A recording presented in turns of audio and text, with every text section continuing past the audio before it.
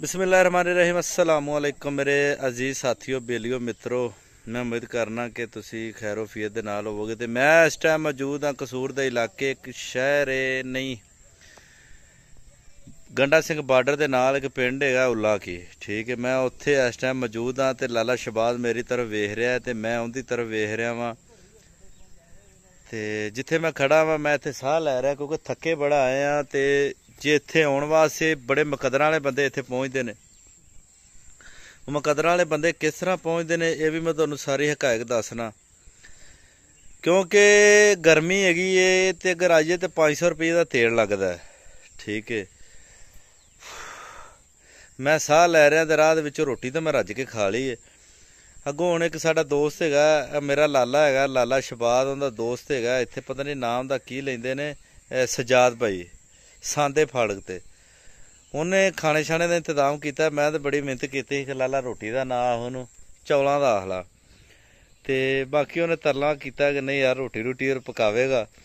ਤੇ ਚਲੋ ਇਸ ਟਾਈਮ ਮੈਂ ਜਿੱਥੇ ਹੈਗਾ ਮੌਜੂਦ ਹਾਂ, ਮੈਂ ਤੁਹਾਨੂੰ ਸਾਰੀ ਜਗ੍ਹਾ ਵਹਾਣਾ ਇੱਥੇ ਟੋਲ ਲੱਗਾ ਹੈ ਤੇ ਇੰਜਣ ਪਿਆ ਤੇ ਲਾਲਾ ਸ਼ਬਾਰ ਲੱਤ ਲੱਤ ਰੱਖ ਕੇ ਪੈਨਾਡੋਲ ਖਾ ਕੇ ਵੀ ਬੈਠਾ ਹੈ। ਤੇ ਨਾਲ ਸਾਡੇ ਕੋਲ ਲਗਾਠਾਂ ਵਾਲਾ ਬਾਗ ਹੈ ਤੇ ਨਾਲ ਹੀ ਇੱਥੇ ਝੂੜ ਜਿਹੜੇ ਮੀਡੀਆ ਵਾਲੇ ਛੱਡਦੇ ਨੇ ਕਿ ਗੰਡਾ ਸਿੰਘ ਬਾਰਡਰ ਤੇ, ਗੰਡਾ ਸਿੰਘ ਬਾਬਾ ਜੀ ਦਰਿਆ ਜਿਹੜਾ ਹੈਗਾ, ਦਰਿਆ ਸਤਲੁਜ ਉੱਥੇ ਪਾਣੀ ਬੜਾ ਛੱਡਿਆ ਮੈਂ ਤੁਹਾਡੀ ਅੱਖੀ ਸੱਚੀ ਖਬਰ ਤੁਹਾਡੇ ਤੱਕ ਪਹੁੰਚਾਵਾਂਗਾ। ਇਨਸ਼ਾਅੱਲਾ ਤਾਲਾ ਤੁਹਾਡਾ ਵੀਰ ਆਪਣਾ ਜੰਗੀਰ ਭੱਟੀ, ਪਿੰਡ ਕੀਰ ਦੀ ਧਰਤੀ ਦਾ ਨੌਜਵਾਨ। ਤੇ ਸਾਰੀਆਂ ਗੱਲਾਂ ਬਾਬਾ ਜੀ ਇਹ ਨੋਟ ਕਰ ਲੈਣਾ, ਇੱਥੇ ਕੋਈ ਪਾਣੀ ਨਹੀਂ ਆਇਆ, ਪਾਣੀ ਥੋੜਾ ਜਿਹਾ ਆਇਆ, ਉਸ ਤੋਂ ਬਾਅਦ ਪਾਣੀ ਪਿੱਛੋਂ ਨਾ ਬੰਦ ਕਰਤਾ। ਮੈਂ ਹੁਣ ਮਹਾਨਾ, ਮਾਸ਼ਾਅੱਲਾ, ਅਰਸਲਾਨ ਮੁਹੰਮਦ, ਅਰਸਲਾਨ ਵਲਦ ਮੁਹੰਮਦ ਅਸਲਮ ਪੱਟੀ ਵਲਦ ਮੁਹੰਮਦ ਸ਼ਰੀਫ, ਵਲਦ ਮੁਹੰਮਦ ਗੁਲਾਬ, ਵਲਦ ਗੁਲਾਬ, ਵਲਦ ਮੁਹੰਮਦ ਚੰਦੂ। ਇਹ ਸਾਰੇ ਦਾਦੇ ਪੜਦਾਦੇ ਦਾ ਤੱਕ ਮੈਂ ਤੁਹਾਨੂੰ ਨਾਂ ਦੱਸ ਦੇਣ, ਤੋਂ ਉਸ ਜਗ੍ਹਾ ਤੇ ਆਪਾਂ ਮੌਕੇ ਮੌਜੂਦ ਆ, ਮੈਂ ਤੁਹਾਨੂੰ ਜਗ੍ਹਾ ਵਹਾਣਾ ਇਸ ਟਾਈਮ ਇਹ ਜਗ੍ਹਾ ਹੈ ਜਿਹੜੀ ਮੈਂ ਤੁਹਾਨੂੰ ਕਹਿ ਰਿਹਾ ਕਿ ਮੈਂ ਤੁਹਾਨੂੰ ਵਹਾਣਾ ਇਹ ਟੋਲ ਲੱਗਾ ਹੈ, ਇਹ ਬੜਾ ਪਿਆਰਾ ਮਾਹੌਲ ਹੈਗਾ, ਇਹ ਕਮਰਾ ਇੱਥੇ ਬਣੇ ਹੈ ਤੇ ਇਹ ਟੋਲ ਦੀ ਨੀਵਾ ਪਾਣੇ ਦਾ ਜਿਹੜਾ ਨਾ ਨੀਵਾ ਇਹਨੂੰ ਕਿੰਨਾ ਇਹਨਾਂ ਕੀਤਾ, ਯਾਰ ਹਾਲਾਂਕਿ ਇੱਥੇ ਪਾਣੀ ਜ਼ਿਆਦਾ ਹੋਣਾ ਚਾਹੀਦਾ, ਬਹੁਤਾ ਨੀਵਾ ਕੀਤਾ ਨੇ ਇਹ ਹੈਗਾ ਇੰਜਣ, ਇਹ ਵਾਂਸ ਲੱਗੇ ਨੂੰ ਆਂਦਾ ਨਹੀਂ ਤੈਨੂੰ ਵਾਂਸ। ਅਗਲੀ ਮੈਂ ਗੱਲ ਨਹੀਂ ਆ ਸਕਦਾ। ਤੇ ਇਹ ਦਰਖਤ ਇਹ ਦਰਖਤ ਦੀ ਉਮਰ ਹੋ ਗਈ 235 ਸਾਲ। ਇਹ ਸਾਡੇ ਵੱਡੇ ਵੱਡੇ ਦੱਸਦੇ ਹੁੰਦੇ ਸੀ। ਇਹ ਦਰਖਤ ਦੀ ਬੜੀ ਉਮਰ ਹੋ ਗਈ। ਇਹ ਲਾਲਾ ਦਰਖਤ ਦਾ ਨਾਂ ਕੀ ਹੈ ਸ਼੍ਰੀ ਤੇ ਦਾਦੇ ਮੇਰੇ ਦਾ ਨਾਮ ਵੀ ਸ਼ਰੀਫ। ਤੇ ਜਨਾਬੇ ਆਲਾ, ਮੈਂ ਤੁਹਾਨੂੰ ਹੋਰ ਕੁਝ ਚੀਜ਼ਾਂ ਵਹਾ ਦੇਣਾ ਇੱਥੇ।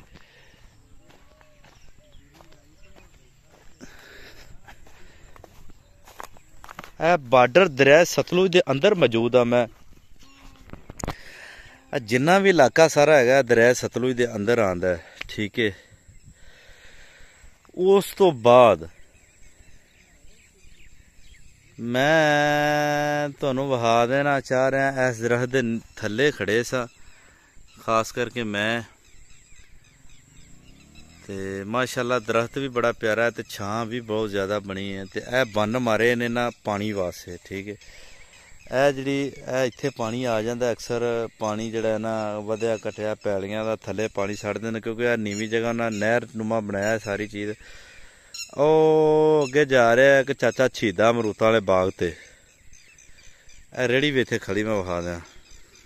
ਇਹ ਸਾਹਮਣੇ।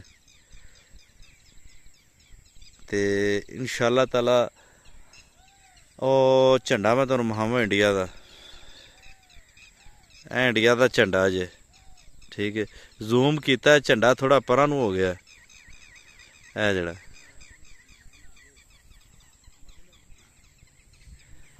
ਤੇ ਇਹ ਮਾਸ਼ਾਅੱਲਾ ਬੜਾ ਪਿਆਰਾ ਇਲਾਕਾ ਯਕੀਨ ਕਰੋ ਕਿਤੇ ਇੱਥੇ ਵਿਜ਼ਿਟ ਕਰਕੇ ਵੇਖੋ, ਤੁਸੀਂ ਖੁਦ ਇਸ ਚੀਜ਼ ਨੂੰ ਆਖਣਾ ਹੈ ਕਿ ਯਾਰ ਵਾਕਈ ਹੀ ਕਮਾਲ ਚੀਜ਼ ਹੈ।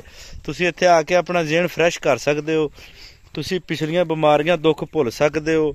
ਤੁਸੀਂ ਇੱਥੇ ਆਉਣ ਦੇ ਨਾਲ ਤੰਦਰੁਸਤ ਹੋ ਸਕਦੇ ਹੋ। ਤਾਜ਼ਾ ਹਵਾ ਮਿਲਦੀ, ਦਰਖਤ ਨੇ ਸਾਰੇ। ਇੱਥੇ ਮੈਂ ਟੋਲ ਵਹਾਵਾਂ। ਇਹ ਹਫਦੀ ਬਣਾਈ ਪਾਣੀ ਵਾਲੇ।